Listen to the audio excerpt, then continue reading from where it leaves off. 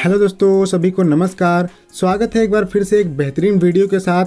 दोस्तों, ये जो मनी प्लांट का पौधा रखा हुआ है, आज हम इसको बहुत ही अच्छी तरीके से ग्रो करके दिखाएँगे और आपको दीवार पर इसको अच्छे से ग्रो करके दिखाएँगे, पूरे अपडेट के साथ कि क्या हम करेंगे इसमें, कैसे सॉइल मिक्सर बनाएँगे, कैसी मिट्टी रखेंगे और कहाँ पर कैसे लगाएँगे, पूरा जानकारी देंगे। तो वीडियो को अंत ज़रूर देखिएगा और वीडियो अच्छा लगे तो वीडियो को लाइक ज़रूर कीजिएगा। दोस्तों, ये देखिए, ये हमने ली है जो पॉली हाउस में सीट लगती है, प्लास्टिक सीट, इस टाइप की हमने ली है और इसको हम दीवार पर इस पौधे को चढ़ाएँगे। तो दीवार हमारी जो सीलन है वो ना जाए दीवार में, इसलिए इसको हम लगा रहे हैं।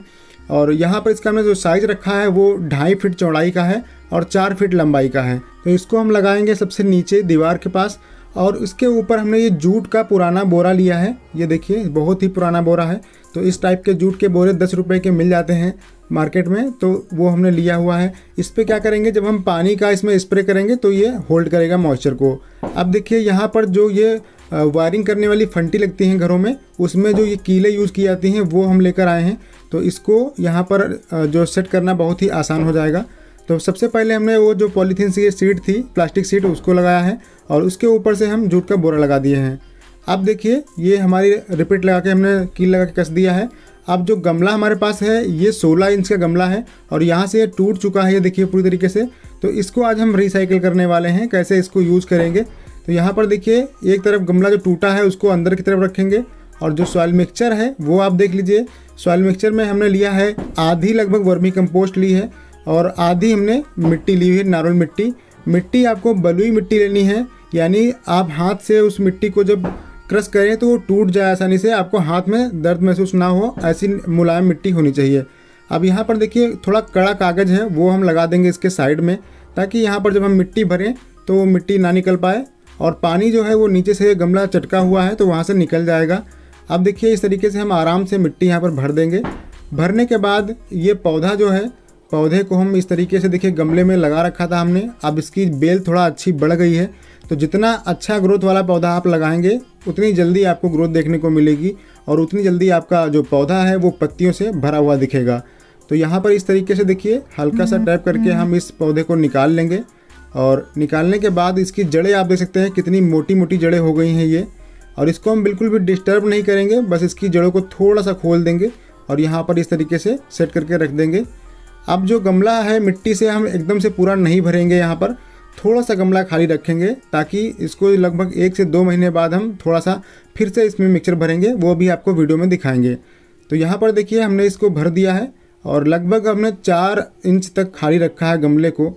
ये अभी दिख रहा है, लेकिन मिट्टी थोड़ा सेट हो जाएगी तो ये और भी बैठ जाएगी। और यहाँ पर हम देखिए, पानी दे देंगे इसको। पानी पहली बार में अच्छे से देना है ताकि नीचे तक पानी चला जाए। अब देखिए, ये जो सुतली है, इनको हमने यहाँ पर बांधा हुआ है। ऊपर से हम चार पाँच सुतली लपेट देंगे और बीच बीच में इनको बाँध देंगे ताकि ये खिंचाव जब हो तो ये पौधा हमारा हिले ना, ज़्यादा गिरे नहीं इधर उधर तो इस तरीके से देखिए, चाकू की सहायता से हम फंसाकर इसको और यहाँ पर जगह जगह इनके धागों में, जूट का जो बोरा है, उसके धागों में हम इस तरीके से बाँध दें हैं। आप देखिए, ये जो बेल है हमारी उस पौधे की, इसको हम एक किनारे से सेट करते हुए बांधेंगे। तो यहाँ पर देखिए, बहुत आसानी से बन जाएगी क्योंकि हमने बीच बीच में ही बांधा हुआ है और ये इस तरीके से लपेटते हुए ले आना है ताकि जब पौधा की जो शाखाएँ हैं वो मोटी हों, तब भी कोई दिक्कत ना हो।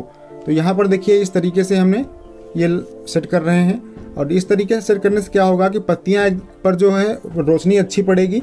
बस आपको ध्यान रखना है कि ये पौधा ऐसी जगह आप लगाएँ जहाँ पर बहुत ज़्यादा धूप ना मिले या दोपहर की धूप बिल्कुल ना पड़े। अब देखिए धीरे धीरे करके हमने इनको बाँध दिया है। अब यहाँ पर हम इनको सिंचाई करेंगे और इस जो जूट का बोरा है, इसको भी साथ में भिगोएँगे और जब भी हम पानी देंगे, तब इसको भिगोते रहेंगे। क्योंकि इसमें जो एरियर रूट्स निकलती हैं, जो हवा वाली जड़ें निकलती हैं, वो उसका जो मॉइस्चर है अगर मिलता रहता है तो उसकी ग्रोथ जो पौधे की होती है, वो डबल हो जाती है और बहुत तेज़ी से पौधा ग्रो करता है।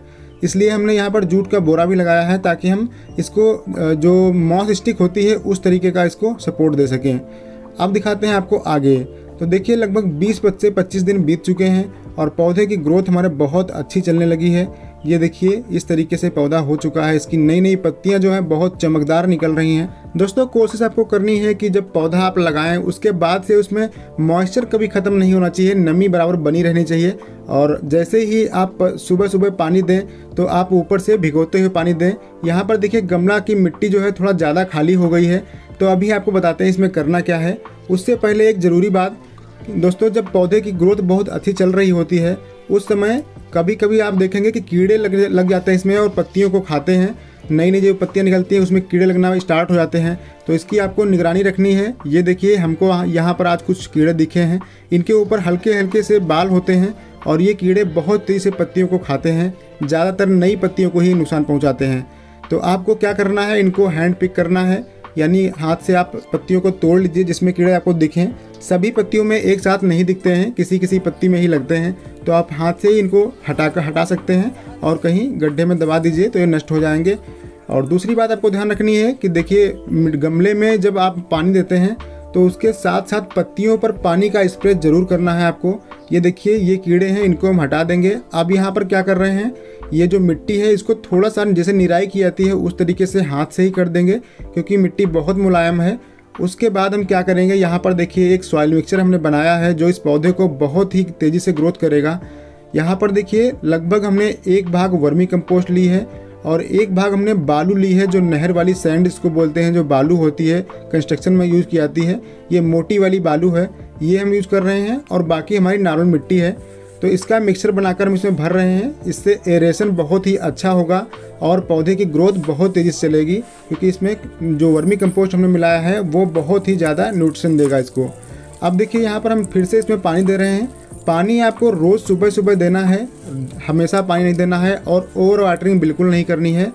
जब भी आप पानी दें तो गमले में भी थोड़ा दें और पत्तियों पर से स्प्रे करते हुए दें। अब यहाँ पर देखिए, एक हम इस जो यहाँ पर फर्टिलाइज़र है, बहुत ही अच्छा काम करता है, ये हम तैयार किए हैं।